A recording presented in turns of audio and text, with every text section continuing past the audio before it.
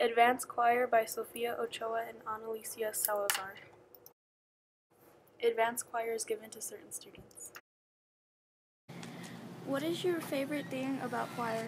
My favorite thing about choir is just singing in general and getting to practice with your friends and stuff. Is this class fun and why? This class is definitely fun and it's fun because well there's a bunch of nice people in there and you get to sing the songs that like you hear on the radio or of your choosing. What's one of your favorite songs from choir?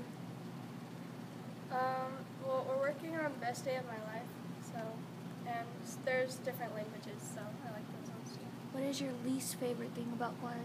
Uh, the science seating because I mean sometimes she puts me away from my friends, so it's kinda Do you regret choosing choir? No, it's fun. Every semester there is two concerts. Why did you choose choir? I chose choir because I love to sing and I thought it'd be lots of fun. Are you happy with your elective? Yeah, I'm very happy with my elective. Do you like the teacher and why? Uh, yeah, I like Miss Andy's. Um, she gives you a lot of opportunities. Do you enjoy being in this class? Yeah, lots of fun and singing is pretty fun. What do you think of this class? I think that everybody should join because, I don't know, it's just a lot of fun. Okay, thank you. It's always important to try your best. Why did you want to become a choir teacher? Oh, um, I always have loved to sing um, from when I was just a, a little kid. And I always used to help my choir teacher when she was teaching uh, her classes. And if, sometimes if she had a sub, I would go in and help lead her classes when I was in junior high school in like eighth and ninth grade. And, and then the more I did it, the more I liked helping people learn music. So I went to college to be a choir teacher, and I've been doing it for over 30 years. Oh my gosh. Anyway, it's a lot of fun and I love it. Do you enjoy teaching choir? I do.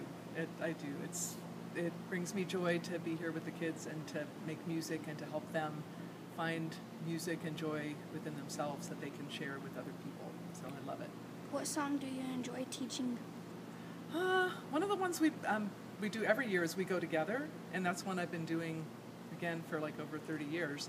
And the kids always love it, and I love it too. So I also like Al Shloshah, which is in Hebrew and talks about unity and justice, and it's a it's a great it's a great beautiful song too. How do you grade this class? Um, it's mostly on participation and showing up at concerts. So we do have some. We have a folder, and we kind of keep music theory notes going and whatnot. But most of it's about just just singing and and putting effort into singing. What are your expectation, expectations for this class? Um, I just expect kids to give their best, and and I understand some days maybe you're kind of they're hard to do that, but but I expect them on most days to give good effort and to care about themselves and care about the choir and care about music. Thank you.